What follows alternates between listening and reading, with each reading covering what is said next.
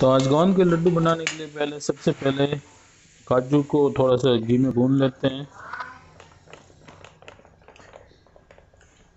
तो थोड़ा सा घी डाला।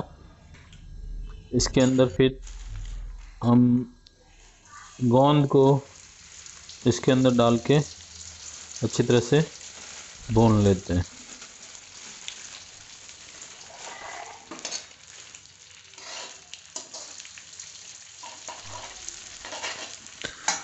तो गोंद को जब सेकते हैं तो ये थोड़ा सा फूल जाता है गोंद लगभग फूल के बड़ा हो जाता है।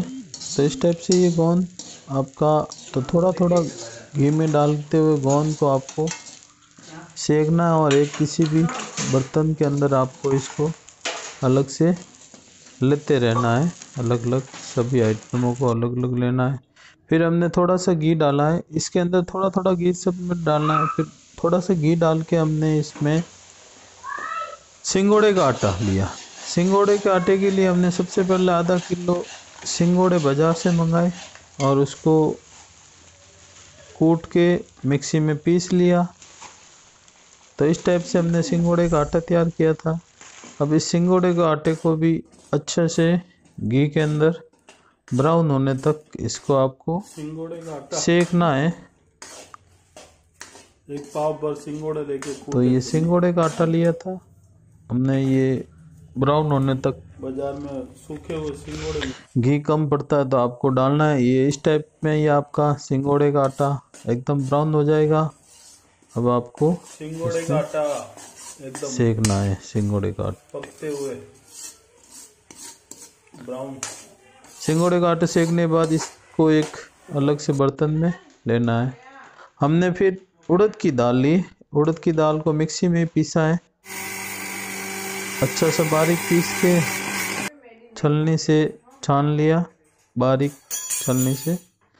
और घी में थोड़ा सा घी डाल के इसको अच्छे से। लगभग हमने दाल ली थी, उड़द की दाल, पाव भर उड़द की दाल ली। उसके अंदर ये हमने सेक लिया। इसको भी ब्राउन होने तक आपको सेकना है। तो ये हमारा ब्राउन लगभग हो गया। तो इसको भी एक अलग बर्तन में, सभी आइटमों को अलग अलग बर्तन में लेना है। फिर हमने लास्ट में ये हमने लिया है गेहूँ का आटा। लगभग एक किलो गेहूँ का आटा लिया है। इसको हमने, हमको सेकना है। अच्छा सा ब्राउन होने तक पूरा इसको एकदम अच्छा सा सेकना है कच्चा नहीं रहे। कच्चा रहेगा तो मुँह में टेस्ट थोड़ा अजीब सा आएगा। तो आपको अच्छे से सेकना है इसको।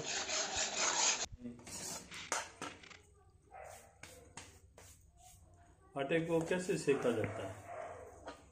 धीरे धीरे आराम से सेको इसको। तो गेहूँ के आटे को अच्छा सा आपको सेकना है।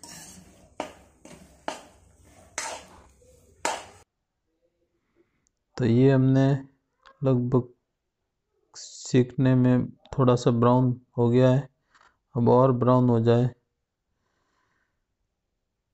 तो ये हो गया। इस टाइप में आपका ये बिल्कुल ब्राउन हो गया। तो अब इसको आपको अलग बर्तन में निकालना है इस आटे को सीखे हुए को। तो थोड़ा सा इसमें कढ़ाई के अंदर हमने थोड़ा सा घी लिया। इस घी के अंदर हमने एक किलो गुड़ को कूट के इसके अंदर पिघलाना है। अब इसको गुड़ का पेत बनाना है तो हमने इस गुड़ को अच्छे से छोटे छोटे टुकड़ों में काट दिया और इसको गुड़ के अंदर इसका पेत बनाना है। तो ये हमारा गुड़ का पेत तैयार हो रहा है। तो इस टाइप से ये एकदम गुड़ की सारी डलिया गल जाए बस सारी डलिया गलनी चाहिए ज़्यादा सेकना नहीं इसको बिल्कुल स्लो आँच में चलाना है इस टाइम में एकदम ये रबड़ी गेहूँ का नहीं गुड़ का ये पेस्ट बन गया है। तो ये हमारा गेहूँ का। अब इसके अंदर आपको सेका हुआ आटा। सबसे पहले इसके अंदर हमने सेका हुआ आटा डाला। गरम गरम गरम गरम। और इसके अंदर सेके हुए आटे के अंदर गोंद उड़द की दाल सिंगोड़े का आटा काजू भुने हुए काजू और थोड़े से बड़ा गोंद जो भी था, सारा गोंद सिंगोड़े का आटा और सब आइटम इसके अंदर डाल दिए। तो इसको डाल के अच्छे से मिक्स करना है आपको।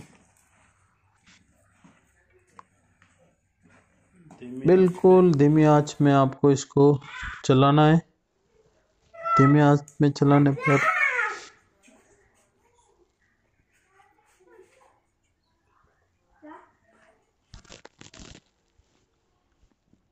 फिर इसके अंदर हमने आधा किलो नारियल, पिस्ता, बादाम तो ये हमने ये नारियल, बादाम और पिस्ता, आधा आधा किलो सभी आइटम थे। तो इसको हमने पहले से कूट के, उसके अंदर हनुमान दस्ते में कूट के अलग से रखे हुए थे। तो ये सारे आइटम ले लिए। तो इन सभी आइटमों को इसके अंदर मिक्स करना है। तो ये सभी को मिक्स करना है अच्छे से। तो ये हमने इसके अंदर, कढ़ाई के अंदर सारे डाल दिए और सभी को अच्छे से हिलाना है। नीचे एकदम लो फ्लेम में, बिल्कुल मिड लो फ्लेम में आपको चलाना। इसको अच्छे से मिक्स किया, इसके ऊपर थोड़े से किशमिश और डाल दिए, एक पाव किशमिश लिए। एक पाव किशमिश लेके फिर और इसको अच्छे से मिक्स करना है आपको। ये ध्यान रखना, नीचे चिपके नहीं। इस टाइप से हम इसके लड्डू बनाएँगे गोल गोल और ये ऑटोमेटिकली आपका लड्डू घी हाथों के अंदर छोड़ेगा ये। तो ये हमने लड्डू तैयार किए इस टाइप से। तो इस टाइप से आपको लड्डू बनाने इसके।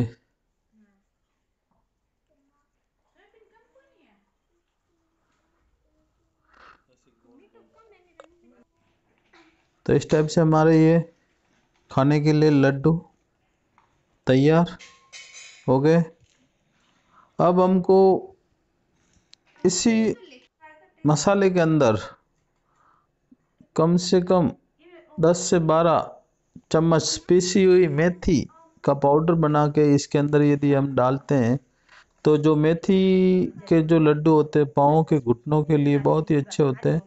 तो मेथी के लड्डू ये हमने इसके अंदर पिसी हुई मेथी बिल्कुल बारीक पाउडर जैसी मेथी पंद्रह चम्मच थी जो इसमें अंदर सारी मिक्स कर दी और ये हमारे मेथी के लड्डू तैयार हो। तो इस- इसको लाइक एंड सब्सक्राइब कीजिए।